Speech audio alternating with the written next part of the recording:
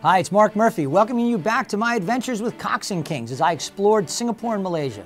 The last few nights of my trip I spent on the island of Penang. The thing that stood out for me from the second I stepped foot on the island, in a word, architecture.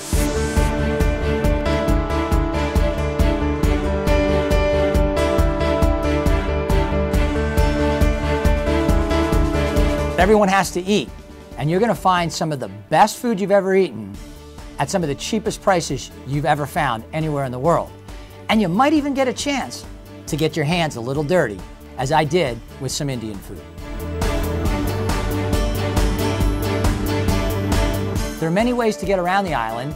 One of the ways I explored was a trishaw.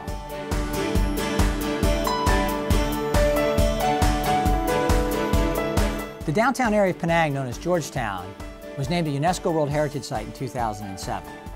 Because we partnered up with Cox and Kings to bring you some of this footage and footage that we're going to share with you later this year, we were able to work with a local guide and get a local perspective and have seamless travel to and from all the various areas we explored in and around Penang, as well as the rest of our travels. Thanks to our sponsors, Cox and Kings, who opened our eyes to a wonderful part of the world.